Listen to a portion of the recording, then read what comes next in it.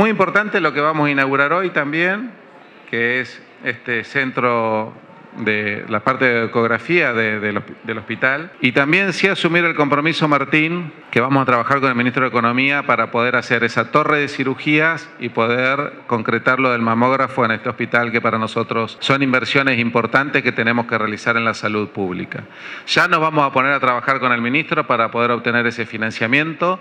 Yo creo que mejora y mucho la posibilidad del servicio que da la salud pública a tantos habitantes que precisamente se asientan en el oeste neuquino, pero también que es un fenómeno que nosotros estamos viviendo como provincia. Despierta una expectativa en Neuquén, esa expectativa trae aparejado que existe un fenómeno de migración interna muy importante hacia la ilusión de trabajar en vaca muerta. Por supuesto que hay algunos que lo consiguen, otros que no lo consiguen, pero se quedan en la provincia. Todo eso, imagínense, con la misma cantidad de recursos es muchas veces una disminución en la calidad de la prestación de bienes públicos y eso es lo que nosotros también tenemos que regular y mejorar. Más que una visita de inauguración era una visita de agradecimiento por tantos años de entrega que han tenido tantos profesionales en este sector y que han hecho del Hospital Heller un hospital de jerarquía, un hospital querido y un hospital que es de referencia para la medicina y fundamentalmente para la población del oeste. Así que muchas gracias y orgulloso de poder compartir este momento con ustedes.